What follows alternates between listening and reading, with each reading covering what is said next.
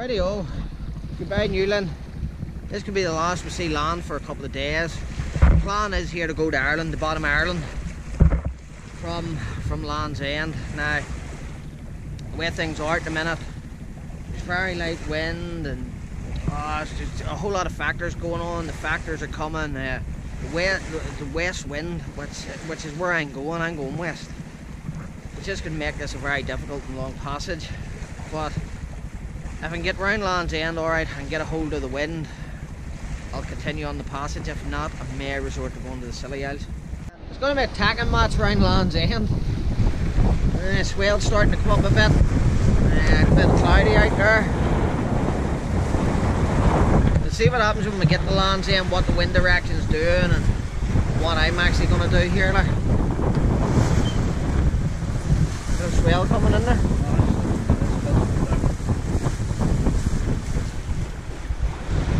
Plan at the moment, we're heading out to the Uh, the wind and sea is just coming more and more in the nose and I just couldn't handle it the whole way over to Ireland. It's just it's just too much. So hopefully it changes uh, in the next few days or so.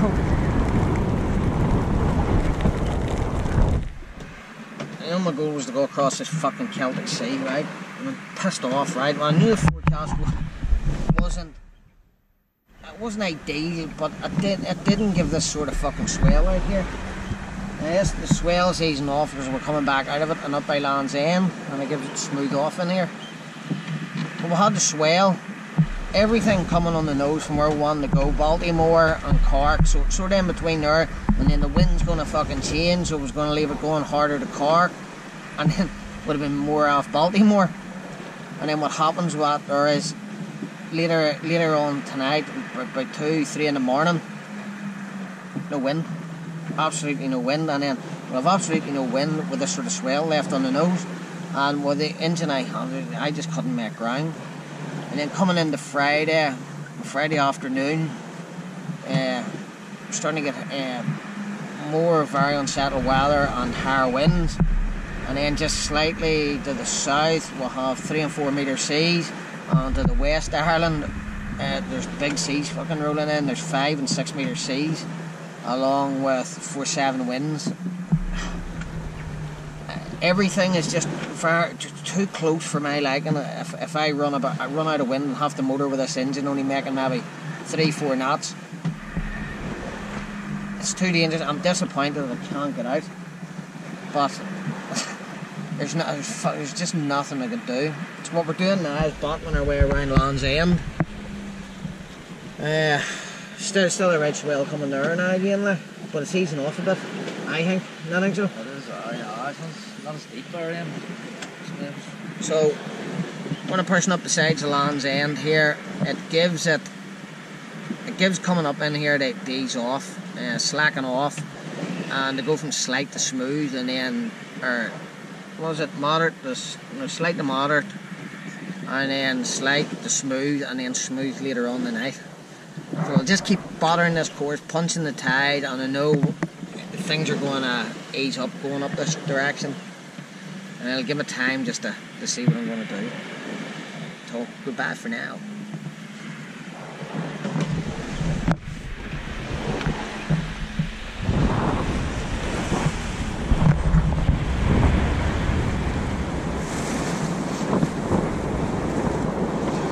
Right, then what's happening here is the weather's easing off. Well, the sea's easing off.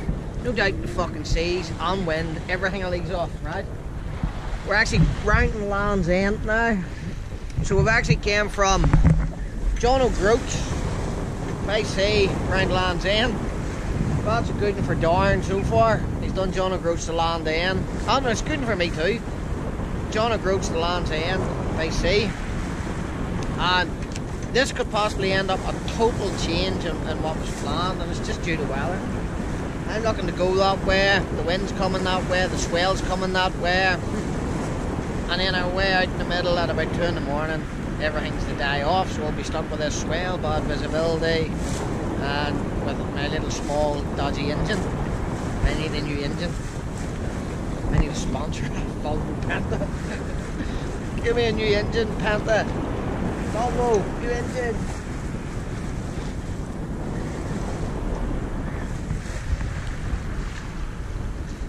Ah, if you know me, you know I don't like, I don't like motoring, like I absolutely hate it.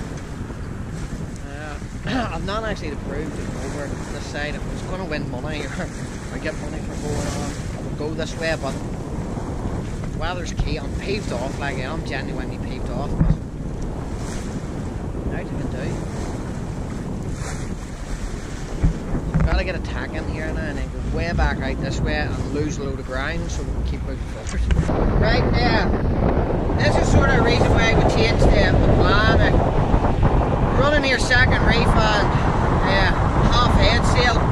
26 knots of wind. I'm telling you now, the sea's up and down in here and in here it actually gives slight, slight sea.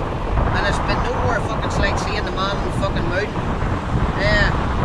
There's a big swell here And lots of wind. Uh, 22 knots now. Yeah, punching tide. Still, still going through it here. 4.5 and 5 knots. Look at that. we are surfing city. Right, still uh, heading up towards, uh, we're heading actually towards Padstow at the minute, but we're not going to get into Padstow, so I'm still going to have to keep going. Uh, this is what it said on the VHF that it was going to be a smooth sea.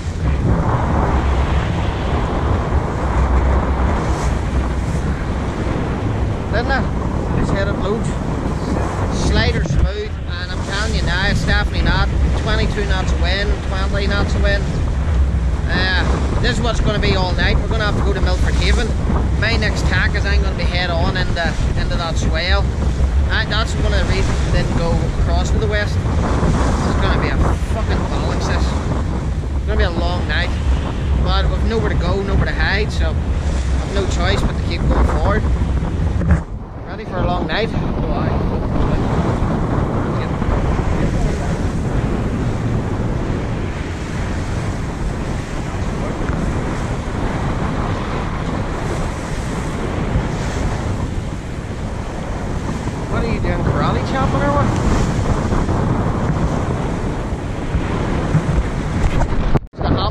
really bad. I think we're holding our reefs in on the mainsail has snapped. So we need to get this fixed. Nightmare. Got the, got the engine running here now. Well, not a bit of a shitty night to be honest. Uh, till about 3 this morning. Uh, we've had 4s, 5s and 6s and we've had a damn lumpy sea. The sea's actually calmed off and levelled out now but this was all sort of forecast and that's why we cancelled coming across the Celtic Sea because it's going to happen what's happening here now. The wind is then swing back westerly and then southwesterly. But out in the middle here, in around this time, there was zero knots of wind, so we would have had the motor only would have been like 75 mile off land and running engine and then coming into Friday there's bad well unsettled weather so just don't want to be stuck around the bottom of Cork and out across here in an unsettled weather. So this was the lesser of two evils. And last night, like that's sort of, the wind was actually howling. It snapped my, my uh, horns for holding the sail on. We'll have to get that fixed when we get into Milford Haven. It's one of those things, by a, a person your boat in bad weather. What a morning, eh?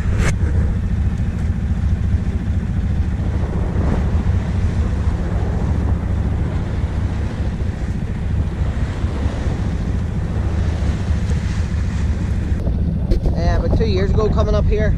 I was coming past the Isle of Lundy's over here. And we actually got uh, a severe gale 8. I mean a severe gale 8 from uh, the Isle of Lundy right into Milford Haven. Well, about 10 mile off Milford Haven and then went down in around 30 knots, which which was a big relief. We just did that cratting in the morning. Yeah, bumpy last night. Darn right up there. Right. And the fucking skipper, he's good to him. All day breakfast for when he wakes up. And all I get off him's fucking grief. Nice. Oh, nice breakfast. From the middle of the Bristol Channel, about 20 mile off Lundy. Ah!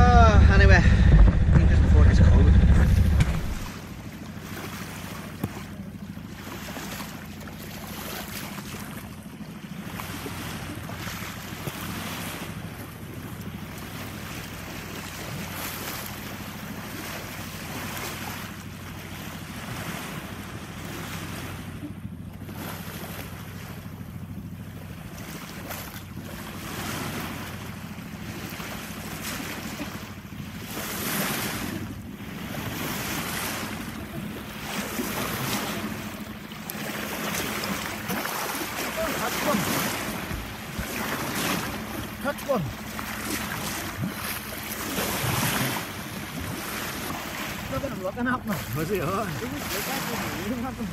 He's like, look. Oh, look at him.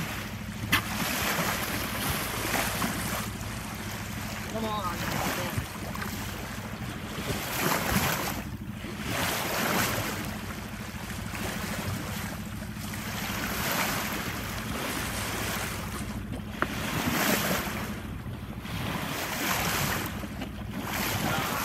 Here, hold him.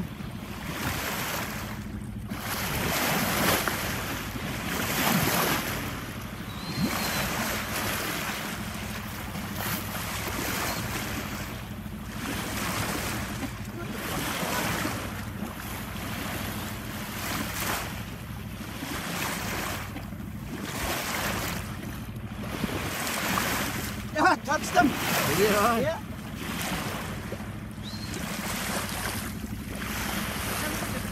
Lab down the north.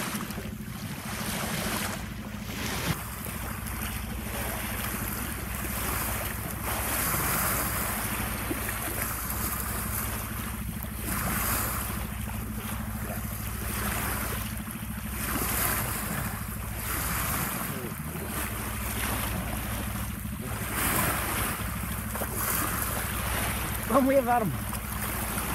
Ah, yeah, he's gonna let you. For a scratch.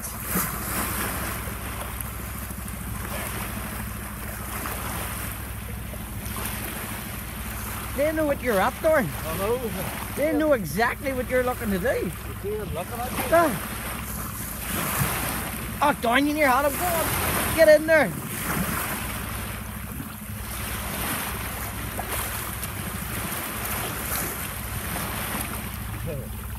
Isn't that amazing, isn't it?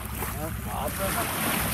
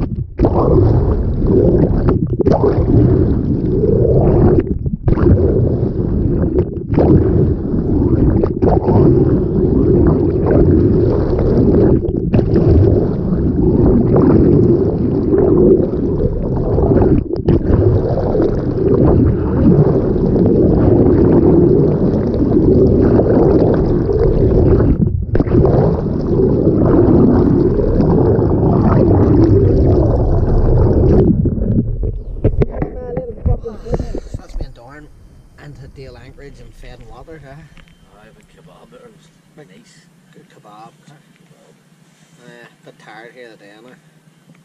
But uh, what do you make of the Bristol Channel? Aye, it was, it was, it was, it was long, like it was Long really, run it was, really long uh, It was choppy time. Yeah. But now in a wee place in Milford Haven known as Dale Anchorage. Now, I remember two years ago when I first came down here and I was sitting up waiting to, to head across the Bristol Channel and uh, I thought to myself sitting up, well, I'll never be back here. And then here I am again. so, the, the, the west coast of the UK now, I've done, I've, I've actually been up and down a load of times now, which is a, it's pretty cool. It's something that I never thought I'd be actually doing. And since my very first time being here, that my sailing has improved. Like last time, it was like we were really hogging the boat. Like, but back again, we're in Dale Anchorage, and we'll head up into Milford.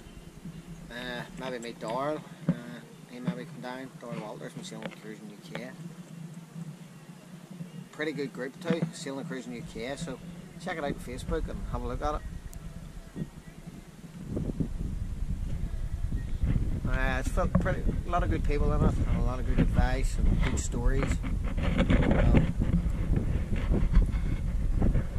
Anyway, we'll go in. And I'll do a bit of video at it, give you a quick look around Milford and all uh, tomorrow.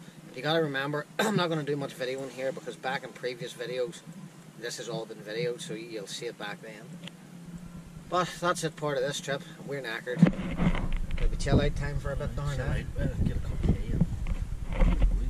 There's a, a couple of boats coming in too. So, uh, heading up into Milford Haven now. Uh, what I'm going to tell you here is Dale Anchorage, super wee anchorage, good holding. But if you're heading up to into Milford Haven and Spa Day and you've got south sort of winds, coming across this bit where the opening is, just be very wary of it because uh, it can get bumpy here. There is, and they're pretty, they're, they're sharp and steep and very few space in between them. So just remember coming across here, it could get bumpy for 10-15 minutes.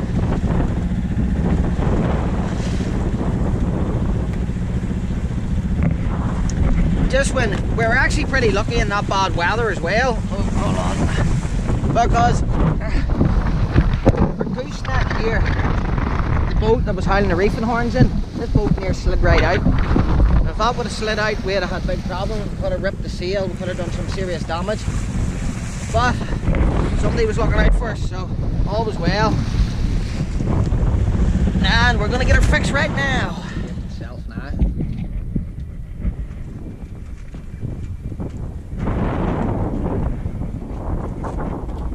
Uh, so well, I've had Darrel down with uh, Darrel Walters, and he runs that group Sailing and Cruising UK. Yeah, be- so it'd be worth having a look on Facebook because if you're ever sailing around here, it, it's a it's a good bit of information you can get off it if needed. So check it out. Darrel's went out of his way here to get us, uh, hadn't he, Darrel? He's actually went out of his way and run about phoning people and, and getting us uh, contacting people to get us the horns fixed. So really, really good of him. So cheers, Dar. Uh, thanks for the, for the help.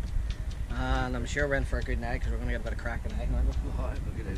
Uh, so I'll keep you posted on how the progress goes with the horns. That's I actually have it out, and there's there's where the horn broke off. No big deal. It's just pretty easy fix to be honest with you. And uh, no damage to the mast or anything. So everything's all good. Right, we're just we're just back. We're got our got our horn fixed,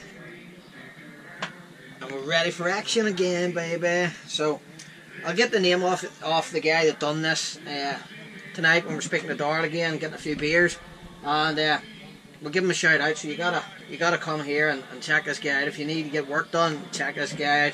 And it's top class job. He's went out of his way. So that's where back fitted. Just put the nut and bolt back on.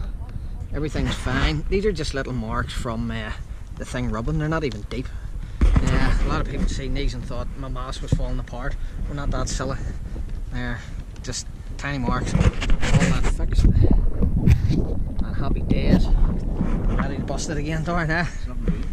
So good job Milford Haven. Thanks Darrel and thanks Darrel's mate for sorting this out for us. It's appreciated. Right, so as I was saying after having a bit of a session up there in Milford Haven, we're down in this Dale anchorage. Yeah, we're still waiting on weather here. Plan is to go from here to Fishguard. This is a, a path I've done before. Yeah, through the Jack Sound and I think is it Ramsey Sound or? Ramsey, yeah, yeah. Yeah. Conditions I want to have to be pretty dead on for this. Uh, he- here's actually the two places on the chart.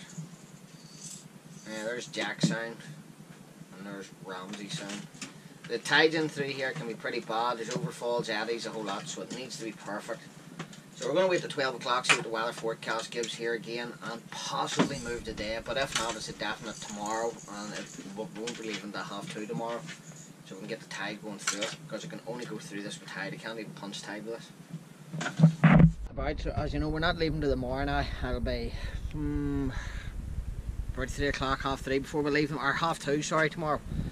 So we're anchored just out here in Dale, but been kind enough again a or Darl was kind enough to lend us his mooring ball again.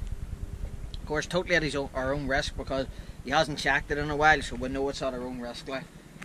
But Dar looks after his kit, so I'm sure it's still pretty dead on. But we'll set the anchor alarm anyway. uh, what we're going to do then is just over in here, we're going to get the paddle board out and, uh, and uh, the dinghy and stuff and, and take a wee spin, spin down probably by the, the wee village here, Dale itself. And just the other night, Darl actually drove us from Milford Haven before we went for beer and chips. All down along this coast and then away up to the, the top of the big headland up here. So we got to see a wee bit. That little fucking village looks pretty idle. But when you go down in there, it's actually buzzing. Wee, wee small place. Apparently it belongs to the big estate here, so we'll go across into the nice green greeny water and just come down that and the paddleboard. I think Darren will take a dinghy. And then he has the all the cameras and GoPros and stuff in the in the dinghy.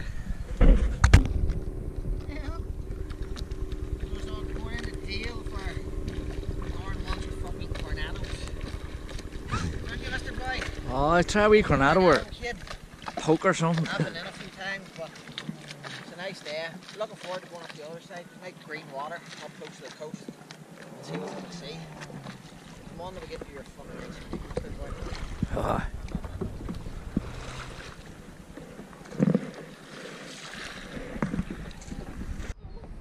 That's me and Danger Darn in the Dale. So you obviously uh, a Dale from away out there in the actual anchorage. And Dale is pretty damn beautiful in here. Dale's nice, Darn, isn't it? So Darl was the safety man there.